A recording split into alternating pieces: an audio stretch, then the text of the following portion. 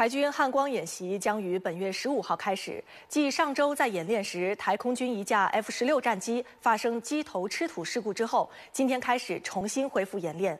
与此同时，台军中爆出一起丑闻，有士兵爆料，台永顺军舰舰长和女士官在舰艇上大搞不正当关系，引发舆论哗然。继上星期台军 F 十六战机冲出跑道、机头插土停止演练后，今天台军开启为期三天的恢复演练，机上挂载的镭射标定夹舱第一次对外公开。另一边，台湾自行研制的天宫三型导弹多次在九鹏基地试射成功，进入量产阶段，全案编列超过七百四十八亿元新台币。不过，遇上美国对台军售，却出现了一些变量。台防务部门二零二二年预算报告显示，关于空军采购天宫三型的台军陆基防空导弹系统案，原本规划要支出的一百一十亿元新台币完全消失，取而代之的是 F 十六型战机远距精准武器筹够。约四百七十亿元新台币，与高空无人机系统约两百一十七亿元新台币。每年都有并列在一般预算里面，那今年突然间消失了，那我们开始就担心啊。这个消失的钱，如果它没有的话，是不是我们整个预算就会停止执行了？那这个情形也不是第一次发生了。我当时在做熊山的时候呢，我们也被排挤，然后延后两年编列。此外，台湾媒体今天曝光了台军的一起丑闻。报道称，台海军舰队指挥部门所属永顺军舰是猎雷排雷的主力舰，近日却有舰上官兵检举，舰长洪忠孝与女士官深夜在舰长室内关门长达三小时，大搞不正当关系。舰长室一般是属于舰长的休息，还有他办公的地方。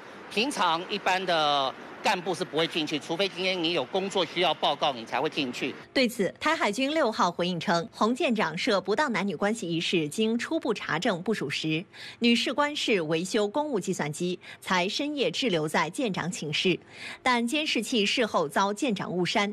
这个解释被网友质疑是越描越黑，根本就是。毁灭证据，有台湾网友调侃说：“计算机坏了还可以修，但台海军的形象受损可就不好修补了。花了这么多钱，到头来却沦为丑闻大本营，这是认真的吗？”民进党上台这些年，台军丑闻频传，状况不断，但是民进党当局无心整肃军纪，却持续在军演和军购上加码。那对此呢，各方如何看待？相关内容，请张涛带我们来看。张涛。好的，确实，我们看到在 F 十六吃土事故过以后，台军又继续开展演习了。不过，根据台湾媒体的盘点，近年来台湾军队在例行演训期间，常发生意外事件，尤其是去年发生了六起重大事故，造成了二十一人殉职，创下近十年新高啊。台湾民众党就呼吁说：“说演习时都无法保障人身安全，如何能够让台湾的士兵安心呢？还有多少人愿意在台湾当兵啊？”每一次事故，我们看到，每一次事故的时候，民进党都，民进党呢？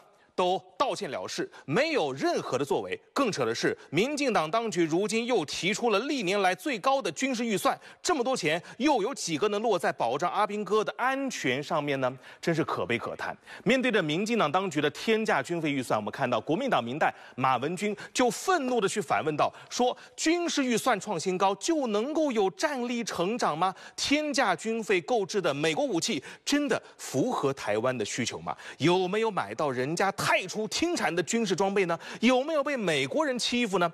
当前台湾军方除了迎合民进党当局拼命花钱以外，更应该要强化部队的训练和军纪才是啊！